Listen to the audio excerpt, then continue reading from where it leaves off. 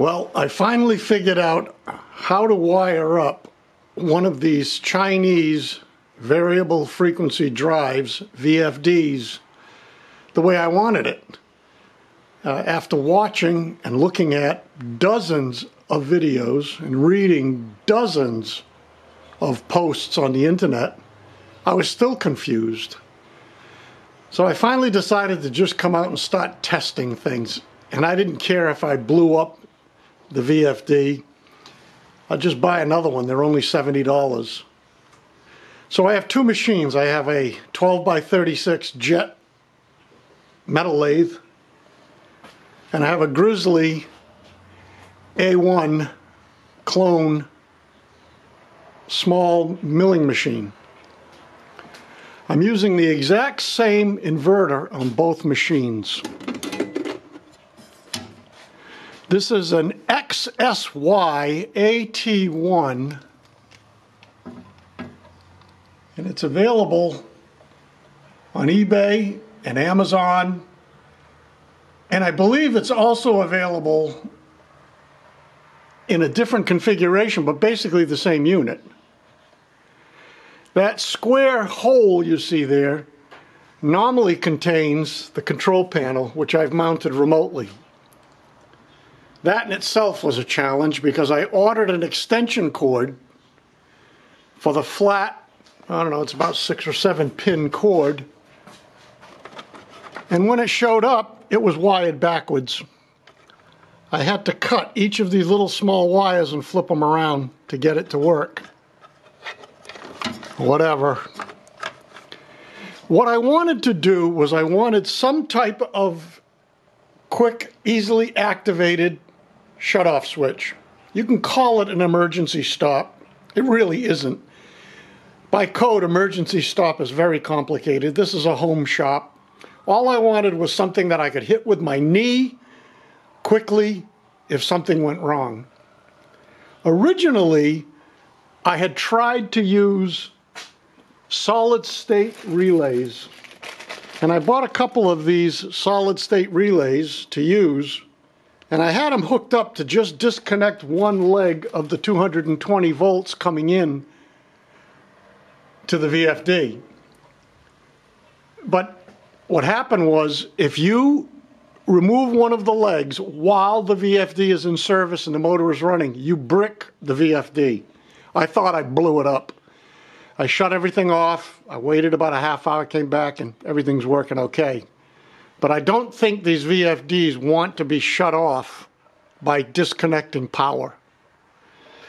The second problem is the remote unit has run and stop, but they're really little teeny buttons. And in an emergency or even close to an emergency, you got to find that little stop button. That, that's, that doesn't work. And lastly, the last thing I ever wanted to do was accidentally leave the chuck key in the chuck and turn the lathe on. When I had this lathe running on a 90 volt DC motor, I simply built this little device over here, which is a piece of pipe with a micro switch. I wired this micro switch in series with this emergency stop switch. And now, to run the lathe, it's simply a matter of turning the switch, it would be on, and to stop it, you just simply push it in. If the chuck key is not in that holder, the lathe won't run. It's just a simple switch. The big issue was how do you wire this up? It's really, really simple. Up here on the top of the variable frequency drive, there's a whole bunch of screw terminals. All you need to do is take a simple on-off switch, wire one leg to common and one leg to the number four screw. And then you go over to the control panel and you program it. And you're going to go to program number 11 and you're going to program it to function number two. Number 11, function number two. Very simple. But once you do that, the only thing that works now on the control panel is the speed control, the variable frequency control, the little knob. And sure, you can buy a little potentiometer and remotely mount that. I had no need for that. Normally, I'm not going to be changing speed that often. I mostly work in aluminum and uh, I run it at the same speed all the time. But now I lost forward and reverse over here. I lost jog over here. The only thing I'm interested in is forward and reverse. I probably would never use jog, just not necessary. I've had this lathe for 40 years and I've never had to jog it. Um, so all I wanted was forward and reverse. That's very simple too. Again, a simple single pole, single throw, on off switch. Two wires, and they run up. One goes to common, and one goes to position number six. And then you need to go back into the programming, and you have to program that. Now, all of this wiring and programming is going to be available in hard copy on my website, which is rvbprecision.com. Roger Victor Bravo Precision.com. I did exactly the same thing on the milling machine.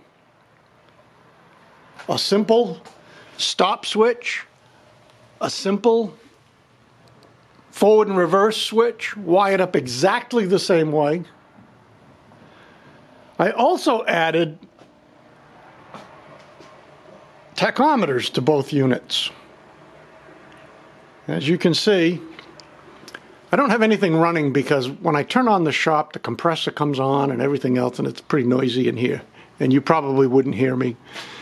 The only thing I did otherwise was I made a little plastic panel to cover the hole where the controller was. I mounted everything in a little diamond plate aluminum box that I welded up. So that's what I did. Very, very easy. Um, I don't think it's possible to damage these variable frequency drives if you do something wrong. I think they'll just throw error codes, they won't work. Um, so experiment. And again, even if you blow up the VFD, they're $60. Actually, I just ordered a third one just to have one in stock in case something goes wrong, or if I want to wire up one of my drill presses or maybe another machine to work on variable frequency drive, because I love them. I love the ability to maintain torque, which the DC motor didn't do. I love the ability to instantly reverse, which the DC motor would do, but it didn't like it. It would make all kinds of weird noises. But more importantly is the power. Now I've got two horsepower on my milling machine, and I have two horsepower on the lathe. I've got plenty of power.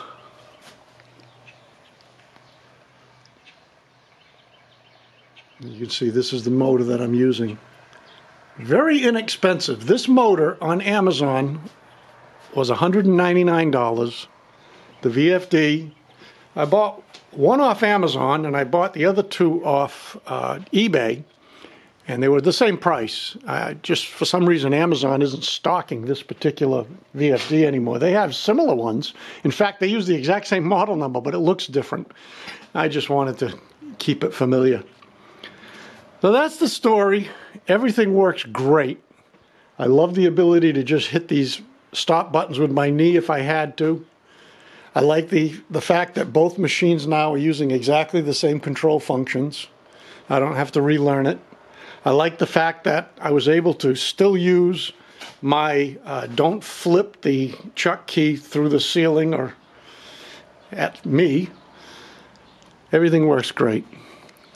So that's it. Don't forget, uh, check out the website, rvbprecision.com. Thanks for watching.